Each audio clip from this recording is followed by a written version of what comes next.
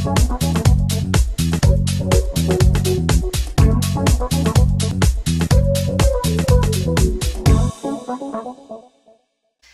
I have another site that was infected because of no updates. So I want to show this to you guys real quick. Uh, we were doing the WP sub package on this and then when the renewal came up it um, was not paid so we had continued doing it for a little while and then I had sent an email out to let um, my client know that we were going to discontinue it and we did.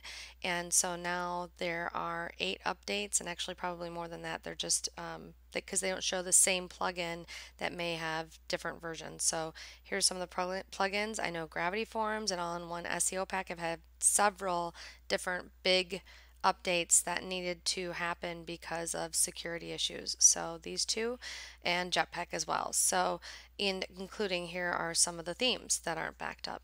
So today I went in to remove all of my security stuff and um, take everything out of the site and when I did I came in to look at my most recent scan we use WordFence to scan and let us know if our sites are hacked um, it also has some great blocking abilities so when you come in here and you can see it's telling you critical updates that need to be done are some upgrades and as I was going down to check it it has a malicious file. Not only has one thankfully so that's not horrible but because usually when this happens as soon as the the site is known to be vulnerable the there'll be tons that'll start infecting it. So then it'll get blacklisted and you're out of luck. So that's really hard to come back from so right here you can see the site has a uh, has been scanned. It has a known malicious file. You can Google this if you want. You just go here like this, go to Google,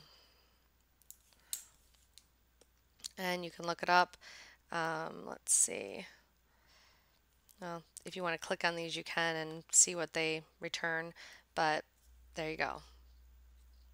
So you definitely don't want to be using this site, you want to make sure that's cleaned.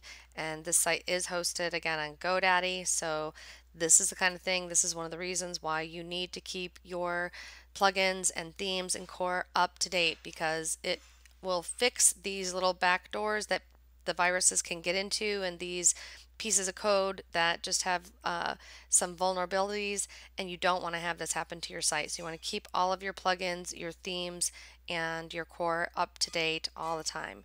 And if it's something that you don't want to do yourself, which you should be doing on a weekly basis, then you can go to our website, yoursiteneedsme.com, and go to um, services and WP sub and check out our WordPress security updates and backup package, and we'll uh, take care of it for you.